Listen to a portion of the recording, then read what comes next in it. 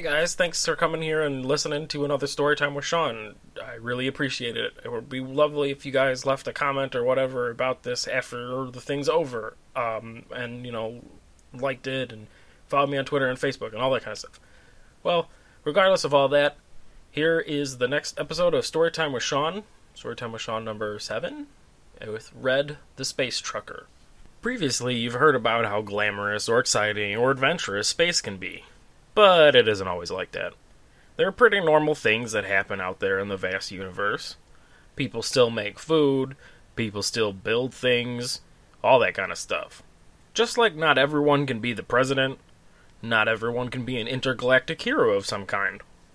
To negate the cheesiness that has so far been this introduction, all of it is pointing towards you can still have your everyday, average badass out there in the universe badasses like Red, the space trucker. Yes, trucking is still an important industry in space. How else are the herboids going to get custom designed chairs to ease their back pain from sitting on normal chairs? And if you said they could just make the chairs themselves, well, that's ignorant. They don't have arms or hands. Come on. The point is, people have some things made in one solar system and then they need to sell it in the next one over. This is where dudes like Red step in. They drive space trucks to pick up and drop off goods, just like a regular truck would. Red is a big man who resembles a Viking, with a big red beard, hence the name. Duh. He likes to wear flannel, has an axe with him most of the time, and likes to carve things from wood on long voyages. That all sounds pretty cool, which is why I left out that whole part about how he likes to write really bad poems in his spare time.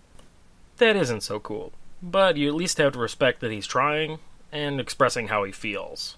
Overall, he just likes space, because he's a rational human, and understands how fucking rad space is. Red always delivers his cargo on time, which is why he's always working. People pay him to do a great job, and he really likes to do it. Rarely, he's requested to carry out very special deliveries, usually dangerous cargo, emergency supply runs, or something like that. Really important things. One of those really important jobs that Red had to go on, he simply refers to as a bear of a job, which is a hilarious pun and a decent bit of foreshadowing. On that particular job, Red got a special order to pick up secret cargo and make a speedy delivery to Hugulon. These jobs pay really well, and Red likes a bit of danger in his life, so when they tell him not to look in the cargo or ask any questions, he doesn't do either. So, for this job, he just backed up his truck, let some robots load it up, and waited for the traditional exchange of thumbs up and a robot slapping the side of the truck to signal it's all good, and he went on his way. Now, there was a great distance between the pickup and drop off locations, so once he put the truck into full speed and turned on all sorts of proximity warnings, he went about whittling a really cool figure of Satan, because that's metal as hell, and hail Satan, but before he even got to start with the horns, the alarms began to bleep and klaxon and buzz and all those kinds of noises, and be a general annoyance. This typically meant Red needed to pick up the controls and dodge something coming head on at him. Typically, this was trash. Because space is so vast and empty, most planets use it as a huge garbage dump, which is gross, but there's no air in space, so at least no one could smell it. However, on this trip, the warnings were coming from behind him, meaning it had to be space pirates, which are totally a real issue in space. Red sighed and powered up his shields and guns and got ready for a fight. Instead of opening fire on him, the ship pulled up beside him. The ship was shaped kind of like a giant crab claw, with one wing being much larger than the other. Red's communication screen suddenly turned on, and he saw what was basically a big brain in an even bigger jar. Great craniums, Red muttered. Howdy, boys. What can I do for you? The being projected its thoughts to Red. We've come for your cargo. It is vital to our civilization. Sorry, can't let you have it. It has a destination, and I've got to get it there. Red said while he wondered what the heck he was transporting. Fine, we will take it from you. The brain calmly thought to Red as their ship extended what could only be described as a giant straw, mostly because that's exactly what it was. The straw punctured the truck, and on the screen, the brain began to suck on the other end. Don't ask how a brain in a jar sucked on a straw. It's really gross, and I don't want to describe it in detail. Red turned off the screen to hide the aforementioned grossness and went into action. He began firing all the truck's lasers into the claw ship, but the ship had powered down almost everything else and charged up its shields. The lasers had no effect. Red couldn't shoot the ship with any missiles, or else the explosion would damage his truck, so he tried to wiggle the truck free. He swerved all over the place and even did a few cool rolls, but the straw deployed a buttload of little hooks. It was really stuck in there. Red needed to break free of them somehow. He didn't want to lose any of this mysterious cargo. He decided he would crash the claw ship into something to break it free. He turned on his scanners to see what was near. This was a long shot, considering how empty space was. It would be a difficult thing even if you were flying through an asteroid belt. You know how far away asteroids are from each other? Like crazy far. Yeah, look it up.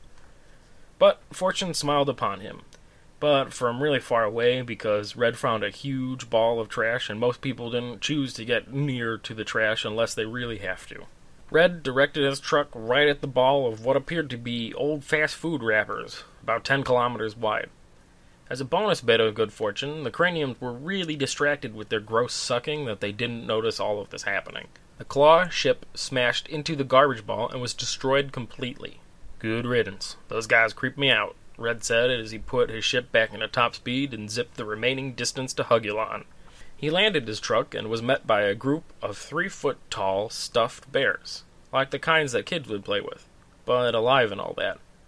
They were incredibly adorable, and probably something you would see in a Saturday morning cartoon teaching kids lessons about life. We are the Huggies, and thank the bear god, Ursa Prime. You got here in record time. One particularly soft brown bear said to Red, yeah, just doing my job, he replied. Just sign here and I'll open it up for you. The bear quickly pushed his paw onto the digital pad, leaving a paw print that counted as his signature for some reason, and then Red opened the truck. A lot of Huggies were waiting behind the truck, and when it opened, it showered them in glitter. Sweet fucking Ursa Prime, this is the stuff! One bear shouted. They were going nuts in that stuff. Most of them were snorting it. Don't hog it all, dick sniffers. Papa Bear is coming to town. The Huggy that was talking to Red cried out and ran over to the pile and dove headfirst into it. Red was really confused, but the delivery was done, and he checked his account, and the money was there. He dumped the rest of the glitter and looked back just in time to see the cute bears getting quite carnal, and decided it was a good time to leave. He flipped through his work messages and picked any job that would take him away from all this, very quickly. He took off, got into space, and flew away at maximum speed for any other delivery. The end, dog. Thanks, guys, for listening to Storytime with Sean, episode number seven. Uh, it's really cool if you got to this part. Um, like I said before, it would be cool if you guys like left me a comment or talk to me on Twitter or something on the Facebook, saying like a prompt or some sort of space idea thing, sci fi stuff that you want to see made fun of, or you want to see something in my story, that'd be great. Um, I am always looking for suggestions, or if not, I'll just continue writing what I think is funny and make fun of sci fi tropes or dumb stories that I make up. Um, I have to thank my friend again, Tika. She told me to use glitter in a story, and that gave me the whole idea for the whole adventure that Red had into this. Um, so yeah, also that I mean, uh, if you give me an idea, I'll definitely give you guys a shout out, that kind of thing. Whatever, it's not you know, but um, uh, thank you guys for listening. Um, there maybe be another one next week. I can't. I don't want to make any promises. I think the promise that I'm going to make is that this is bi weekly. I know that I said that last week, and this week there came out another one, but still, they'll be bi weekly for sure. Maybe every week. But if I get busy and I have to do other things, there'll be a break. If you are really into this stuff and you want to know, you can follow me on Twitter. Um, I believe at DarkSmiter D2 there. Uh, and there's a Facebook group, but all those links will be in the description of this, and there'll be um, annotations throughout the video the whole time. I think. Um, regardless of all that, again, as I said in the intro, thanks for listening. I really appreciate it. Love it if you guys shared it with anybody. You know, if you got a laugh, tell your friends, and maybe they'll have a laugh. Um, otherwise, again, thank you for listening, even though I've said it a billion times. Um, and join me next time for the next story that maybe you suggested ideas about. How about that?